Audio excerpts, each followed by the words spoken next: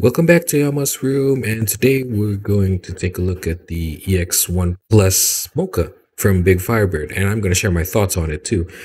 You see, uh, they, Big Firebird themselves have already come out and said, well, they haven't really published it online through Twitter or anything, but they have told uh, a select few, that's how I heard it, that this is definitely not RC they're not trying to make an RC.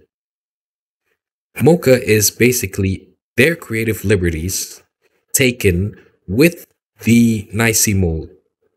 So, before you Transformer quote fans started whining, no, they are trying to make an original character and they are not trying to make an RC. So, just shut up, really.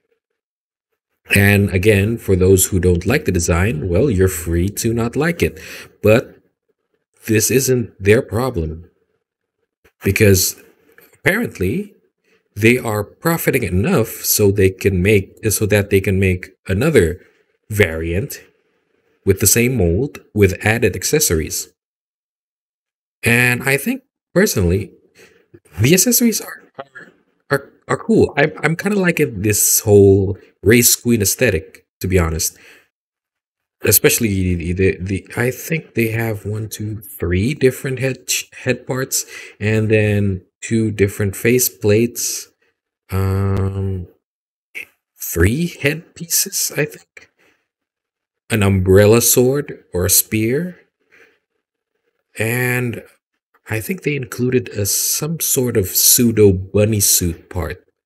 I, don't quote me on that. The, the the bunny suit part was uh, merely speculation, but yeah, I'm liking it. I'm liking the I'm liking design. I'm liking what they did with it. Their creative liberties taken with it, and I'm okay with this. They're not trying to. They have come out and said themselves that they're not trying to make an RC. So you can't really complain about that because it's just like they're doing this for themselves, I think, and for the profit, most definitely. I'll be getting it. How about you guys?